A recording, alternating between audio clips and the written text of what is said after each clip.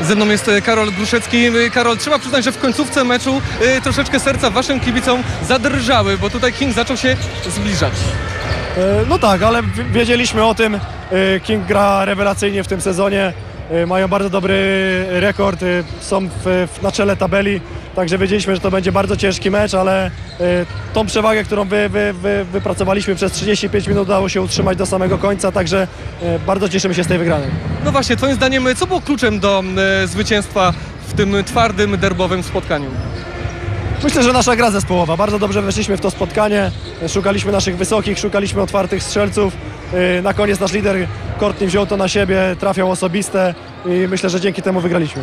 Ja wiem, że nie lubicie, kiedy was e, pyta się, z kim chcielibyście zagrać w półfinale, więc zapytam troszeczkę e, inaczej. Twoim zdaniem, kto wygra mecz, Start czy Legia? Oj, naprawdę ciężko powiedzieć. W pucharze nie ma faworytów. Każdy może pokonać e, każdego.